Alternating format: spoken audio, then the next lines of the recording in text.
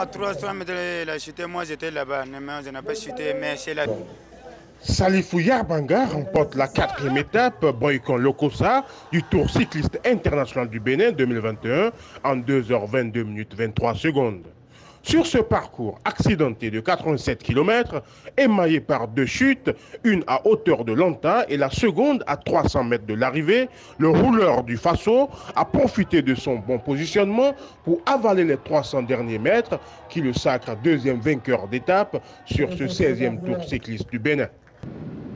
Un podium sur lequel on retrouve trois nouvelles têtes. L'Ivoirien Kwadio Kwame monte sur la troisième marche, tandis que Vitalis Bethel offre au Nigeria son premier podium en montant sur la deuxième marche.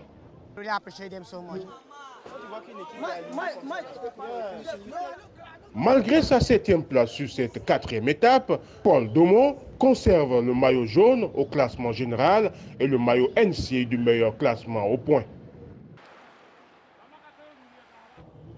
Dans la partie du peloton qui a chuté à 300 mètres de l'arrivée figure Bachiki Idrissou qui n'a plus que le critérium de Porte-Nouveau ce vendredi et la dernière étape de Cotonou le samedi pour faire gagner une étape aux écureuils.